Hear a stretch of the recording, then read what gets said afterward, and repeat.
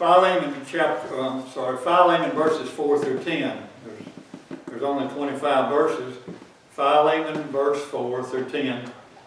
We're gonna pick up in verse six, but I wanna read, get, get the flow of it here. In Philemon verse four, I thank my God, make, making mention of thee always in my prayers, hearing of thy love and faith, which thou hast toward the Lord Jesus and toward all saints, that the communication of thy faith may become effectual by the acknowledging of every good thing which is in you in Christ Jesus. For we have great joy and consolation in thy love, because the bowels of the saints are refreshed by thee, brother. Wherefore, though I might be much bold in Christ and join thee that which is convenient, yet for love's sake I rather beseech thee, being such a one as Paul the aged, and now also a prisoner of Jesus Christ, I beseech thee for my son Onesimus, whom I have begotten in my bonds. Let's go ahead and pray. Thank you, Lord, for the opportunity we have together. Thank you for the ones that listen on the internet. And we just pray today, Lord, that we'll, as we learn more about Philemon, putting his life on display, and uh, as, as uh, he practiced the doctrine that he had in his inner man, as we read Philemon, uh, we're so thankful, Lord, that we have an opportunity each day that we're ambassadors for Christ, that we represent the Lord Jesus Christ, and we want to put our lives on display. We want people to be able to see Christ in us. We thank you for this time, for in Christ's name. Amen. Amen. Looking at these verses here today, verses 4 through 10, starting verse 6, uh, displaying our lives, what I put on the board. And that, that's what uh, Philemon was doing. Paul was encouraging him to do this, to display his life, because there were some issues going on and I put on the board for you, when you read the chapter, you're going to see Paul, Philemon, and Onesimus. Plus, you're going to see Philemon's family there too. But uh, those three men there, we want to look at closely as well today. But putting your life on display, and when you when you do that, for us as believers, uh, we're putting the doctrine in our inner man, and we're talking about you got your spirit, soul, are in your body. We're made up of spirit, soul, and body, and we want to put the doctrine in our inner man. Philemon did that. And you think about the way the Paul lays Romans through Philemon out, and you, you look and see when the where Philemon is located right before Hebrews, and you think about building that doctrine up in you, and that's what I've talked about. You think about building up Romans through Philemon in your inner man. And then when you do that, you're, you're going to be able to practice what Philemon needed to practice for, uh, with Onesimus. Because things wasn't right between Philemon and Onesimus. Paul writes a letter, and you've, you've read that yourself, and he's encouraging Philemon there. Uh, you know, he's not commanding him, he's not making him, we're going to look at that. But look at verse 6. Paul says this, well, verse 4, he said, I thank my God making mention of thee always in my prayers, so Paul's praying for Philemon. Hearing of thy love and faith which thou hast toward the Lord Jesus and toward all saints. Then notice that. That's intent and purpose. Uh, that the communication of thy faith may become effectual by the acknowledging of every good thing which is in you in Christ Jesus. That's the reason Paul's praying for Philemon. That word that, the intent and purpose. What, what's the reason he's praying for Philemon? You read that in verse 6 there. That the communication of thy faith. You think about communication of thy faith. What was Philemon doing when communicating his faith? He mm-hmm. had faith. He had the doctrine in him. So what was he doing? He was talking about it. Philemon was preaching the doctrine. He's, he's giving it out to man, speaking about who he knows. He's, he's got the doctrine in him and he's giving it out. And that's the communication of thy faith. But he said there in verse 6, Philemon 6, that the communication of thy faith may become effectual. And you look at that word effectual. If you don't know what is it, what is effectual there? And uh, it's a word, it's a word describing something working inside of you. You know, that's what it is. When you think about effectual, something's working inside you. Uh, and then working outwardly. That's what effectual is because he said that the communication of our faith may become effectual. It's what's in you, and it's going to work out. And, and the verse that I gave you last week, we'll go back and read it. 1 Thessalonians chapter 2 and verse 13. And this is how effectual works. It works inside you, then it works out. And that's what uh, Philemon, he had the doctrine inside him. Spirit and soul inside that, uh, inside of him. He had the doctrine in him, and now Paul's writing to him, work it out. So 1 Thessalonians 2.13, For this cause also thank we God without ceasing, because when you received the word of God, which you heard of us, you received it not as the word of men, but as it is in truth the word of God, which effectually worketh also in you that believe. Now that's what the Word of God does. Uh, it tells worketh also in you that believe, when you believe it. And uh, here's an example from somebody like the Philippians, for example. Uh, they put the Word in them. We're going to turn to Philippians chapter 2, if you'd like to do that. Philippians chapter 2. Here's an example of this. You put the Word in you, and it works out. And you look at Philippians chapter 2 about the word effectually. And Philippians chapter 2, and look at verse 3. Philippians 2 3. Paul says this, he says, Let nothing be done through strife or vainglory, but in lowliness of mind let each esteem others better than themselves. Now we're thinking about the word effectual and how, how that's used. Paul says, Let nothing be done through strife. Well, what's strife? That's contention. That's opposition. That's anger. That's when you quarrel with somebody. And Proverbs 13, 10, 10 talks, Proverbs 13, 10 talks about contention. It's pride is what is the reason people do that. But he said, let nothing be done through strife or vainglory. Well, what's, what's that vainglory? All that is is empty pride. It's vain, it's empty. It's your own performance is what it amounts to.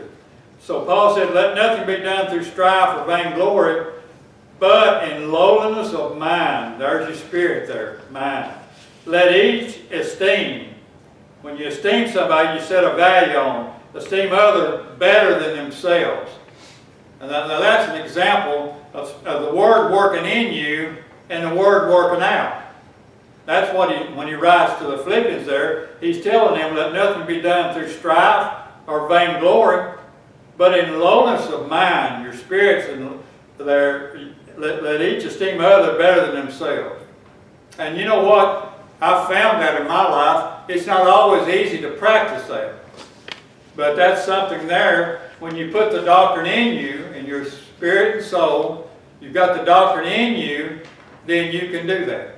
But if you don't have it in you, you're not going to do it. So I wanted to share that with you there. And you think about the, the communication of thy faith we read over in verse 6. But Philippians 2, 3, this is the attitude and action that I'm supposed to take. Why should I take that? Why should I esteem others better than my, themselves, than myself? Why should I do that? Because of who, who I am in Christ. That's why. And the question would be, Philippians 2, 3, what if you don't do that verse? And I'm going to tell you, there's many of us that don't do that verse all the time. We don't handle that verse too well. Well, what if we don't do it? You know what it amounts to? We don't believe the verse. When you don't do it, you don't believe it. People say, well, I, I do believe the verse. I read my Bible. I read, I believe what it says. But it's one thing to read it. It's one thing to believe what it says, another thing to do it. And when you don't do it, you really, you're not believing what the verse says. And that's what I'm seeing in my life now as a believer. You know, there's verses that pop up like that. Some things are hard, and you have to learn to deal with it and understand the doctrine's got to be in you or you can't do it. So go back over there uh, to Philemon, verse 6. Philemon 6 how, you're thinking about Philemon 6, Paul says that the communication of thy faith may become effectual. Well, how does it become effectual? Philemon 6.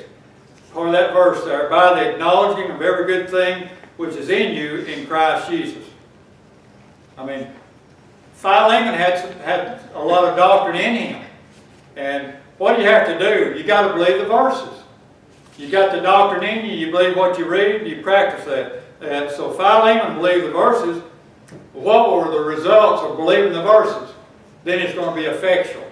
It'll work in you. And look at verse 7, Philemon verse 7. For we have great joy and consolation in thy love, because of the bowels of the saints were refreshed by thee, brother. Notice what he says there uh, about the bowels. Why were the bowels of the saints refreshed by Philemon? Well, because he believed the Scriptures. So, you know, Paul gave the gospel to Philemon. He gave it to Onesimus. They got the doctrine from Paul. Oh, uh, Philemon believed the, the Scriptures. He believed the doctrine. He had the doctrine built up in him. And that resulted in refreshing the saints. It, it's, a, you know, whenever you work outside and you say you you mow the yard at 100 degrees, you get all hot, you need to be refreshed. With, I don't like cold water, I like warm water. I don't like it too cold. But I, I can drink that and that refreshes me when I sit down. Well, that it's the same, you think about a believer that's got the doctrine built up in you, like Philemon has got the doctrine built up in him as we read this, and he can refresh the saints. Uh, and he can also refresh Paul in prison, because Paul was in prison. We've, we've noted that. Reading there, because all you got to do is read Philemon verse 1. Paul, a prisoner of Jesus Christ, so he's a prisoner. And how could Philemon refresh Paul? How could he refresh those believers? Well, Philemon, understand this about him. You've got Romans through Titus, you know, those books are available to him. So he's got the doctrine. So Philemon had believed the facts. And the facts, uh, you think about the facts, you're talking about the doctrine. The doctrine of grace. Philemon understood, he knew what the gospel uh, was, the death, burial, and resurrection of Christ. He understood about the body of Christ, that we're heavenly people and all that. He, he had doctrine in him. He had understanding. He had the facts, is what he had. Well, also Philemon believed the facts.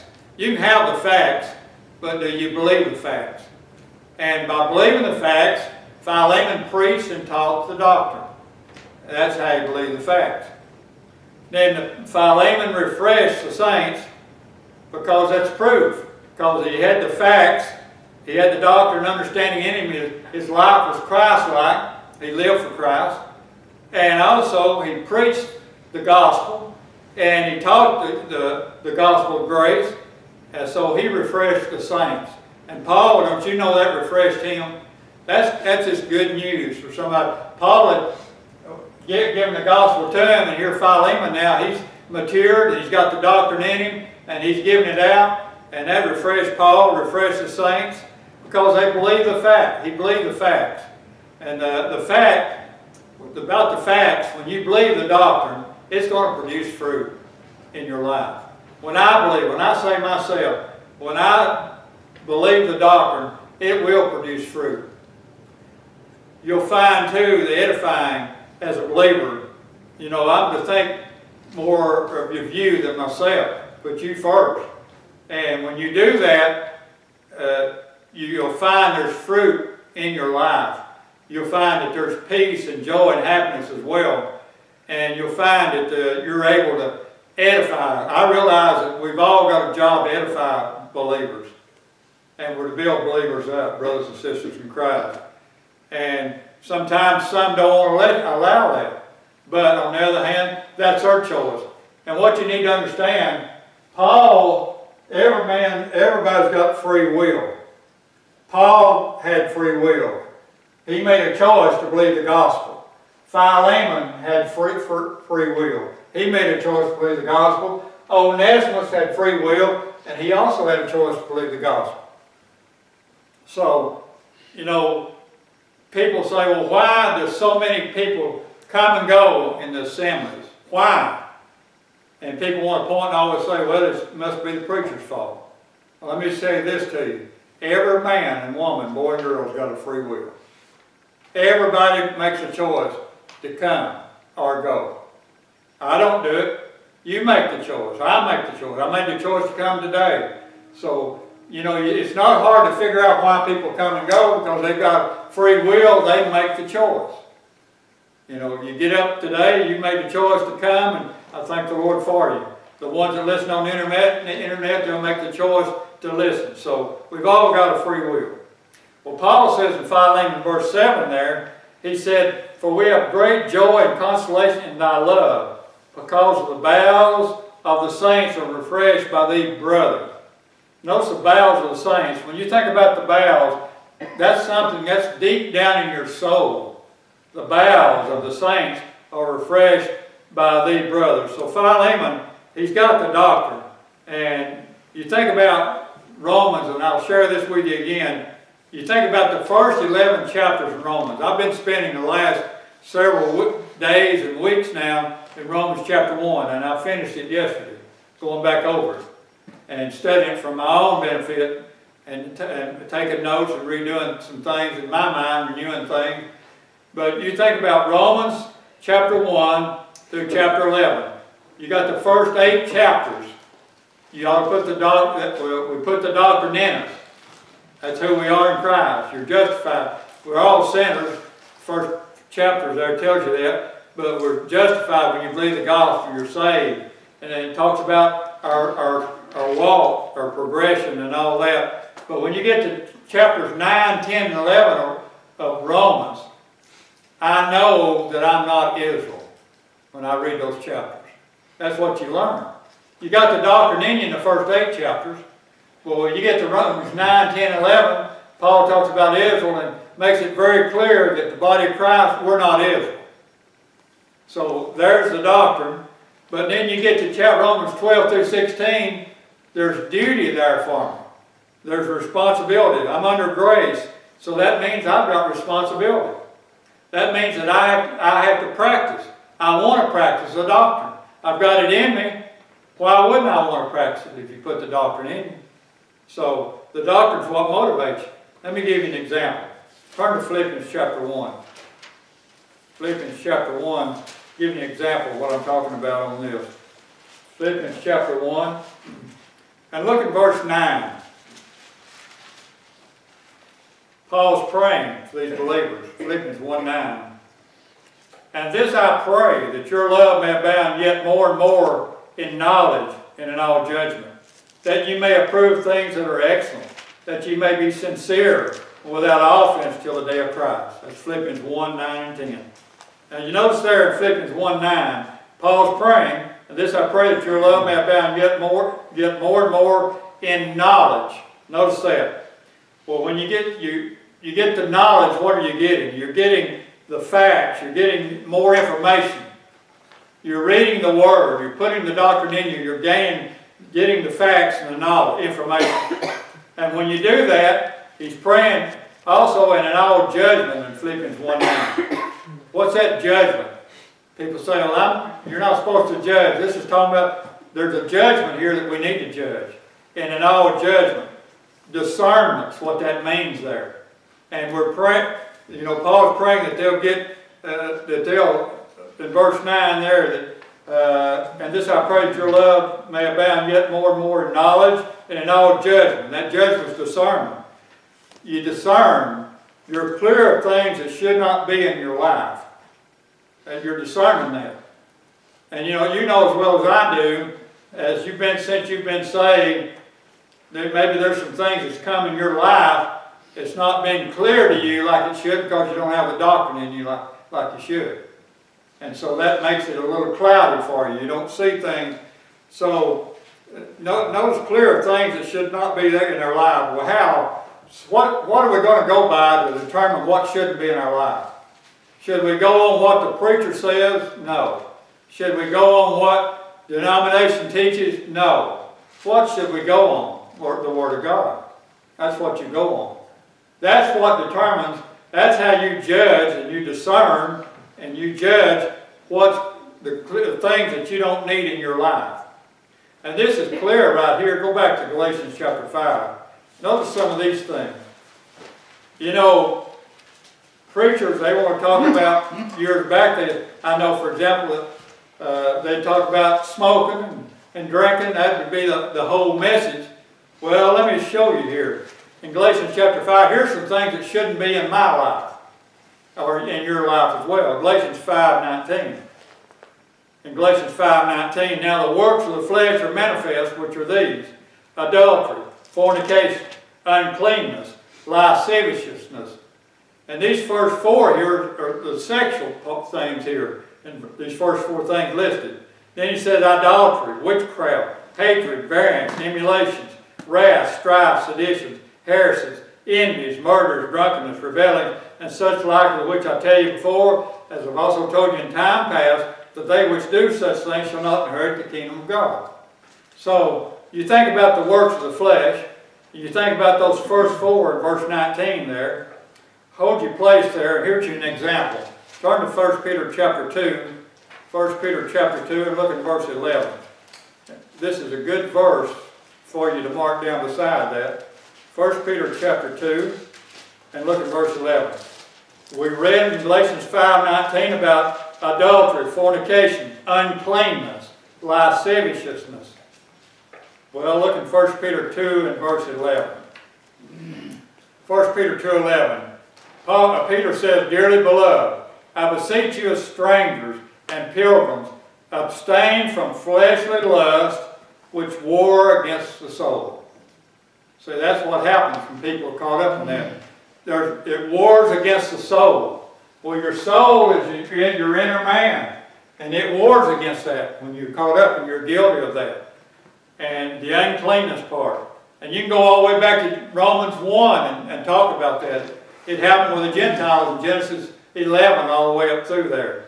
So I won't get off on that today, but you, you, think, you think about all that and understand this, Galatians 5, 19 through 21, it tells you some things that I shouldn't be caught up in.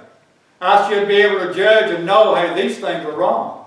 I shouldn't, I shouldn't want them in my life. They should not be in my life. Get rid of it, is what it amounts to. so, look in Romans chapter 12, for example. Romans 12 and verse 9. Romans chapter 12 and verse 9. So get rid of sin. I mean, you, be able to judge, be able to discern what's right and what's not right for your life. And you do that with the Word of God. You read it, you believe what the Word says, and this is what it says, so I'm going to do it. That's like Romans 12, 9. Paul says, you know, you get to Romans 12 now, you ought to have the doctrine in you. And Paul is writing now, practice the doctrine, Romans 12, 9, let love be without dissimulation but abhor that which is evil. Cleave to that which is good. Notice that abhor. What's that mean? It means to get rid of.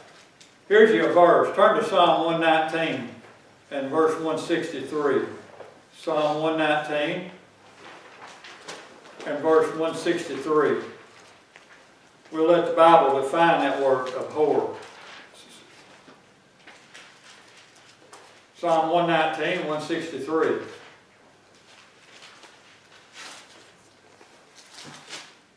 Psalm 119, 163. I hate and abhor lying. Notice that. But thy law do I love. I hate and abhor lying. Well, when you know you think about a whore, you hate it. Get rid of it. And so that's what Paul said there in Romans 12, 9 there. Uh, but let, uh, let love be without dissimulation. Abhor that which is evil. But notice what it says, cleave to that which is good. You know, cleave to it. Bring, bring good in. That's what you want. Uh, why am I doing this? Well, you go back, why, why do I want good brought in? Why do I want sound doctrine brought in my inner man? Go back to Philippians chapter 1. We should have held a place there. Philippians chapter 1, look at verse 10. Paul's praying for these believers. He's praying that they'll, they'll abound yet more and more knowledge and all judgment, verse 9. But Philippians 1.10, notice this. Why do we want good? Well, in Philippians 1.10, that you may approve things that are excellent. Well, what would the word excellent mean? Greater value. You think about greater value. That you may be sincere without offense till the day of Christ. So that we want things of greater value. And we want good. And the good would be greater value as well. So, going back to Philemon verse 8, Philemon verse 8,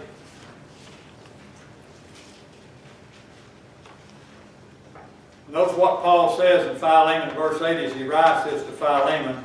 Right in Philemon verse 8, Wherefore, though I might be much bold in Christ to enjoin thee that which is convenient. Now, the wherefore, that's because of the doctrine working in you. Already we've done talked about that in the previous verses. Wherefore, though I might be much bold in Christ to enjoin thee that which is convenient. Well, Paul brings up his apostolic authority now. All of us know he's our apostle. Philemon knew he was his apostle. And he brings up the apostolic authority. And you'll say, well, how do you see that in that verse? Well, read the verse. Philemon, verse 8. Wherefore, though I might be much bold in Christ to enjoin thee that which is convenient. What do you think the word enjoin means? To enjoin it means to order or direct somebody. That's what it means. So, you know, Paul's the apostle. He said that wherefore though I might be much bold in, in Christ to enjoin thee that which is convenient. So Paul brings up his apostolic authority, but Paul didn't make Philemon forgive Onesimus. He mm-hmm. didn't do that. You'll notice that there, Onesimus did Philemon wrong, but Paul didn't, didn't make Philemon forgive him. You know, in scriptures, in the scripture, forgiveness is not an option. It's not. When you read the Word of God and you got the doctrine in you, it's not an option. You got to forgive. And, and you hear people all the time say, I just can't forgive so-and-so, they've done so much to me. How much did Christ, what did he do for us? So it's not an option. Turn to Colossians chapter 3. Colossians chapter 3. And look at verse 12. And I'm speaking to myself, you know, if it doesn't affect you, I mean, if you're not bothered with it or you don't have any issue with it, it's fine. But we, I do, and I think we all have issues. It's hard sometimes. Flesh doesn't want to forgive. Remember that. That flesh doesn't want to do that. The flesh has got emotions. And that's what the flesh wants to run our lives by. Colossians chapter 3, look at verse 12. Put on therefore as the elect of God, holy and beloved, bowels of mercies, kindness, humbleness of mind, meekness, long-suffering, forbearing one another, forgiving one another. If any man have a quarrel against any, even as Christ forgave you, so also do ye. Now, when you read verse 12, don't just skip over our titles that we have. Put on, therefore, as the elect of God. That's one of our titles as a believer. Holy, that's another title. And beloved, that's another title. Those three titles, that's who we are. But you'll notice in verse 13 there, uh, if it, the last part of that verse, if any man have a quarrel against any, even as Christ forgave you, so also do ye. Have you ever heard of anybody not having a quarrel with anybody? No. We've all gone through things ourselves people. Whether you want to or not, you do. So, did Philemon have a quarrel with Onesimus? And the answer is yes, he did. Colossians 3.13 says, the last part of that verse, even as Christ forgave you, so also do ye. So, biblical forgiveness is not an option.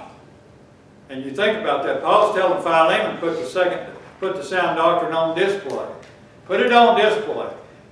You know, uh, what's what's convenient there? You read that word in verse 8 there, you see the word convenient? Or verse, go back to Philemon, I'm sorry, Philemon verse 8. about to get ahead of myself. Philemon verse 8. Paul says, Wherefore, though I might be much bold in Christ and join thee that which is convenient. Well, what's convenient? That's telling you what to do.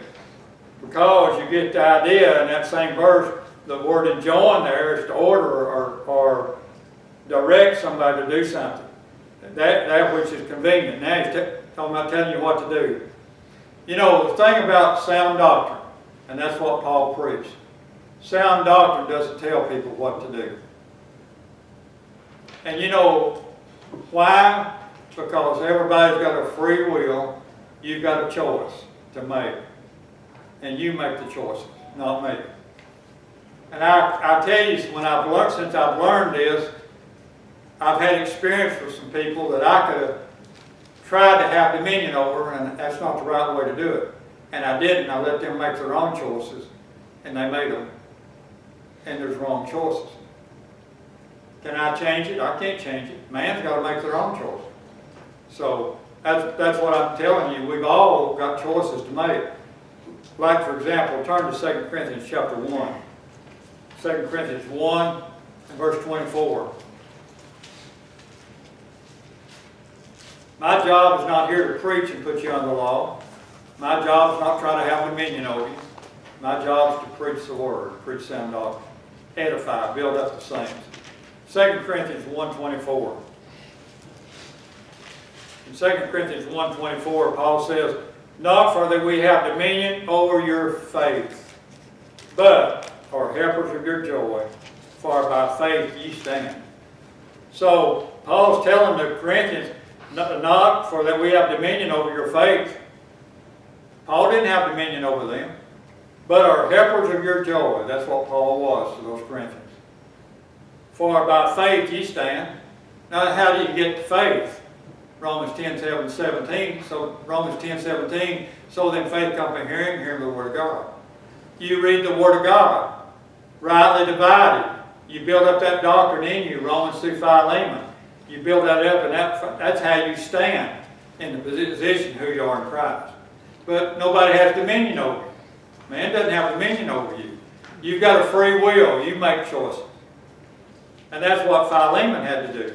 Go back to Philemon verse 9. Philemon and verse 9. Notice what Paul says in Philemon 9. Yet for love's sake I rather beseech thee, being such a one as Paul the aged, and now also a prisoner of Jesus Christ. Notice that yet for love's sake. Well, why didn't Paul command Philemon? Why didn't he just command him? We just got the reason why you don't have dominion over people. And Paul knew that because Paul wanted to be from the true motivation of grace. That's why. You know, whenever you let the word of Christ dwell in you richly, you build up that doctrine in your inner man, then you make the decision. You make the choices. Nobody influences you to do that. And that's why you think about the love of Christ constraineth us, 2 Corinthians 5, 14. And you think about that. The motivation of grace is not a command nor a demand. It's not that. You do it because you love me. Philemon, you do it because you love me. The doctrine will make you do it. And I, I, I see that in my life now. The doctrine makes me do because I know how much the Lord loves me. I love Him, but I could never love Him as much as He loves me. So the doctrine built up in me energizes me. And it, it, it works effectually in me, 1 Thessalonians 2.13. And when you read that word in Philemon verse 8, about Paul there, it says, uh, Wherefore, though I might be much bolder in Christ, well, verse 9, sorry, yet for love's sake I'd rather beseech thee, being such a one as Paul, the aged, and it's talking, not talking about his old age. That's what, not what the context is here. Uh, Paul's not, a, Paul is, uh, it's not about his, uh, being an old man in this verse. Paul is a seasonal soldier for, for the truth. How do we know that? By reading the Bible. Turn to 2 Timothy chapter 2. Not far from there. 2 Timothy chapter 2. Paul is a seasonal soldier for the truth. And you look at 2 Timothy 2, 3. Thou therefore endure hardness as a good soldier of Jesus Christ. Notice that endure hardness. But look at chapter 4, 2 Timothy 4 and verse 6. This is before Paul dies, 2 Timothy 4, 6. For I'm now ready to be offered, and the time of my departure is at hand. I fought a good fight. There's a soldier there. I've finished my course. I've kept the faith. See, he's a soldier. And it's not talking about age there as far as old wise. Paul is not a beginner. So Philemon verse 10, Paul says to Philemon, I beseech thee for my son Onesimus, whom I have begotten in my bonds. Notice the words I beseech there. Have you seen that like that in Romans 12, 1? You have, because you build the doctrine up in, in Romans chapter 1 through 11. then Paul says, I beseech you. What's he beseeching the believers for him to present their body a living sacrifice? You can do that. That's love motivation. Let the doctrine work in you, Philemon, I beseech you. That's what Paul's telling him. Display who you are. Why should Philemon do that? Well, for the church to see it, one reason, and for the world to see it. That's another reason. I mean, you want the doctrine built up in you for all of the saints here to see that in you.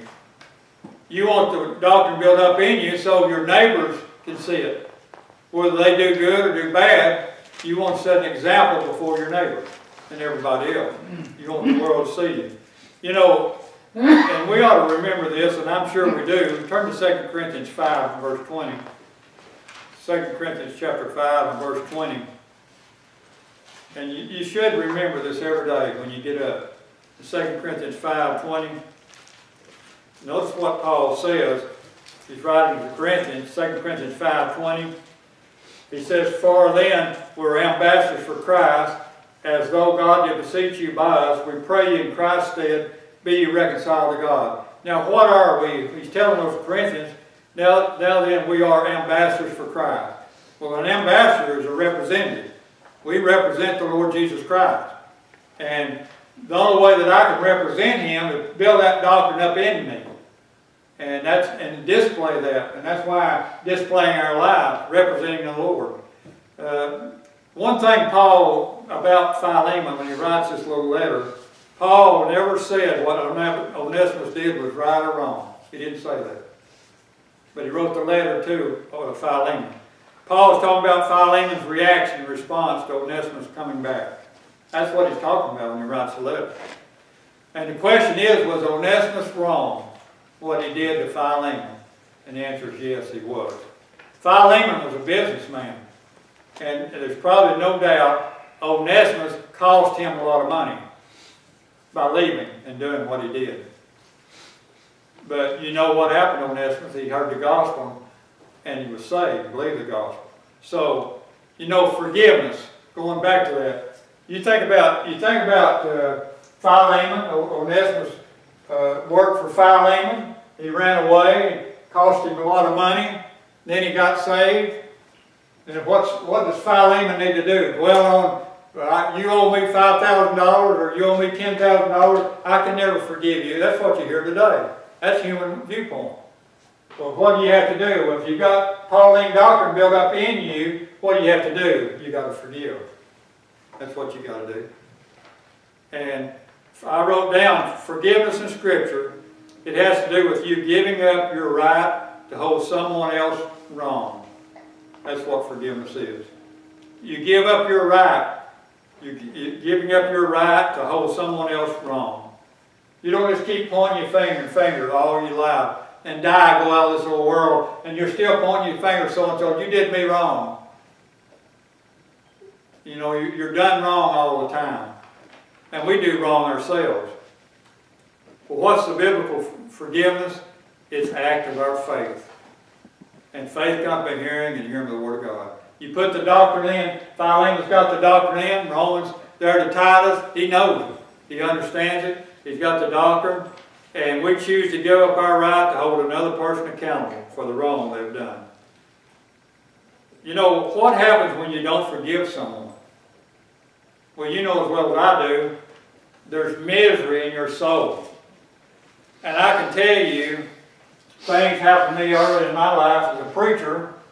Uh, I, I can tell you, and I won't mention names or go into detail, but people will hurt you. And it'll affect you all your life if you don't get rid of it. And I can tell you that for myself. That's why I go back to Colossians chapter 3. Colossians chapter 3, and look at verse 13. Colossians 3.13. In Colossians 3.13, forbearing one another and forgiving one another, if any man have a quarrel against any, even as Christ forgave you, so also do ye. You got to forgive them. If you got the doctrine in you, you will. Uh, what, you know, you always think about what Christ did for us. He gave, he gave up the right to hold us accountable for what we did so that we could be saved. And, you know, people say, well, I've been, this person's done me so much wrong and I, I, I've been hurt so much. Well, it does hurt. It does bother you. It does dwell in your mind. But the only thing that's going to help you is put the doctrine in and get rid of it. That you may have it pop up, though flesh, it may come up, though nature sometimes, but you think about what Christ has done for us. He died and shed his blood. You know, I was looking at this in Romans. Go back over there, right? Romans chapter 1, quickly, and I'll, I'm going to give you something. You think about Romans chapter 1, and you read, I'm going to give you these verses here. We're not going to read them. Romans chapter 1, you look at verse 18 through the end of the chapter 32 there. And what's man doing? Willfully rejecting God's testimony. That's what man's doing. And you look at Romans chapter 2, verses 1 through 11. What's man attempting to do? To be self-righteous. That's what man's trying to do. It's not in your notes. Uh, Romans 2, 12 through 16. What man gives an excuse? I did not know the law. That's, uh, that's an excuse. I can give you these if you need them later. Then in Romans 2, 17 through 29, what's man doing? He's, he's living in hypocrisy. He's hypocritical. Then you get to Romans chapter 3, verses 1 through 8. Man accuses God. That's what man does. Then you look at Romans 3, 9 through 12. Man's lack, lack of character. Don't have any character. And then you get on down to Romans 3, 13 through 18. Romans 3, 18, uh, 13 through 18. We're all guilty. Every one of us.